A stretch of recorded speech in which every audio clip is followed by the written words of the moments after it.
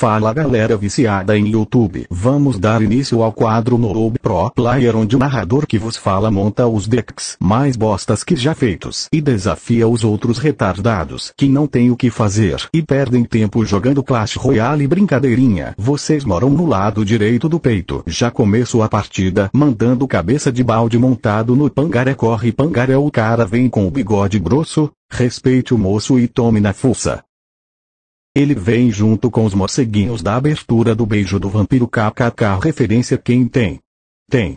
KKK boto logo a Suzero pra defender. E ele taca o sou eu bola de fogo calor. Tá de matar aí vem a bruxa do 71 pra transformar tudo na Peppa Pig. Ele também tem essa bruxa pelona. E já coloco a Petecona na arena.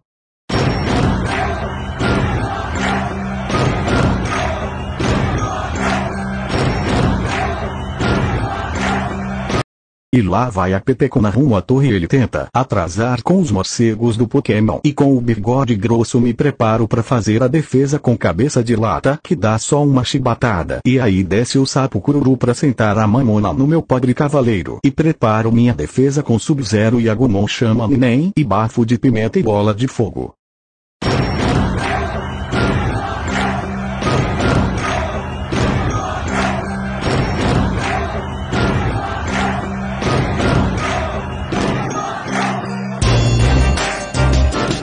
E lá vai o dragão bebê feliz da vida, achando que vai colar naquela torre. Se saber que vinha a bruxa do 71 criadora de porcos pra acabar com a ilusão de sua petecona de ferro. E já preparo um terremoto Katrina que não e um furacão, mas também um desastre natural kkkk. Já mando a vovozinha dos porco. Ah, já mando a vovozinha dos porco.